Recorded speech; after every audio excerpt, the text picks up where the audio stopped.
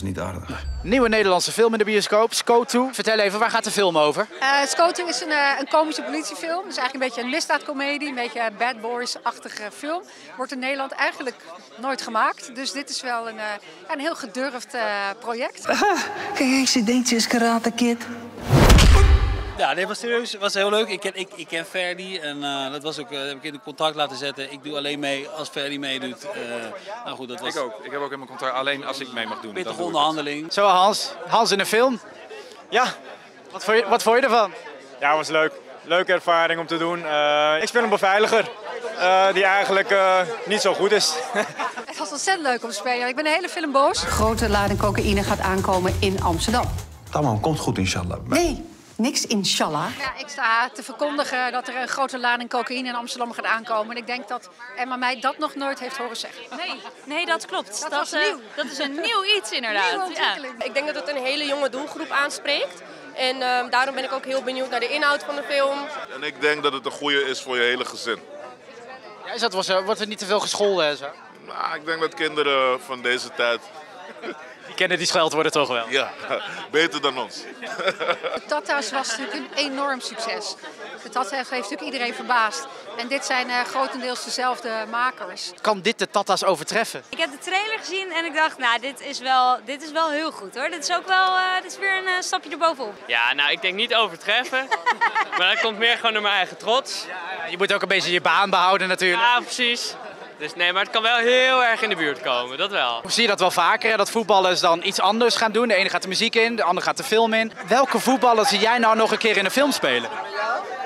Oeh, ik zou wel Michiel Kramer in een filmpje willen uh, zien. Hè? Dat, dat, dat, lijkt me wel leuk. Is een, uh, is een, mooie figuur, uh, mooie persoon en dat zou wel leuk zijn. Ik denk, ik denk dat Babo nog wel daar, daarin komt. Ja, ja, ja. Er zijn wel steeds meer voetballers die in de filmindustrie gaan. is dat ook wat voor jou, denk je? Wie weet, wie weet. Oh, ik kan niet te veel spoilen. Er zitten ook wel wat uh, mensen in de film die oorspronkelijk helemaal geen acteur zijn. Zo hebben we een voetballer, we hebben een model, we hebben een, uh, zelfs een oud crimineel in de film zitten. Hoe kijken jullie daar als acteurs dan naar? Uh, pikken ze niet een beetje jullie rollen in? Ja, ze pakken ons werk af, behalve dat wij ook in deze film zitten. Dus normaal gesproken vind ik het niet kunnen, maar omdat ik, ik heb er nu in dit geval geen last van. Het is mijn eerste film, dus ik vond het super leuk om te doen. Ik denk dat ik ook wel een goede rol had om te doen, zeg maar. Ik denk dat iedereen een beetje afstandelijk was van, oké, gaat ze het goed doen? Uh, ze wisten niet zo goed van, ik bedoel, ik kom toch wel een beetje in hun wereld kijken. Uh, maar ik denk dat het gaat om hoe je elkaar ook laat voelen op set. Alleen geschoolde acteurs in de Nederlandse films, televisieseries. Bij deze. Zijn jullie zelf wel eens in aanraking gekomen met de SCOTO? Zwijgerecht. Nee. Echt niet? Ik ben een nette jongen. Ik ben een nette jongen. Nee, nog nooit. Nee. Echt nooit? Nee, echt nooit. Ja, braaf hoor. Zie ik er zo stout uit? Weet ik niet. ik ben een keer gepakt met bellen. Gewoon heel snel eventjes, ja, ja, wat is er, wat is er? En dan, fuck! Ja, ik denk dat ik eergisteren nog een boete heb gehad. Was het een dure? Ze zijn allemaal te duur. Wel een keer aangehouden door de scoto op de snelweg. Dus, uh, wat had je gedaan? Nou ja, uh, wat had ik gedaan? Uh, misschien iets te hard gereden. Maar ja. Veel te hard? Nou ja, niet veel te hard. Oh, dat weet ik niet eens meer. Dat zo lang geleden. Oh, dat weet ik niet eens meer. Ooit te hard gereden?